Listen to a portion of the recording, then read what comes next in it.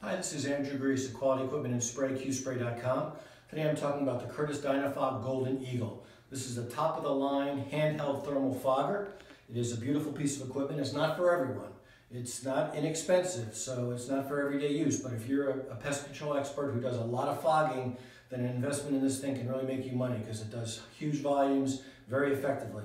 It's what's called a thermal fogger. So unlike most of the foggers on the market, it, the fog is, is heated. And what that means is the size of the droplets is much, much smaller. So it hangs in the air for a much longer time and travels a further distance for more effective control of things like mosquitoes.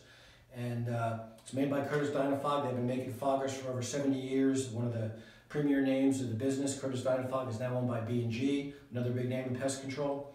And uh, this is a beautiful piece of equipment. Uh, here's some of the accessories you see. It comes with a couple of brushes to clean it out, padded strap, um, instruction manual, etc.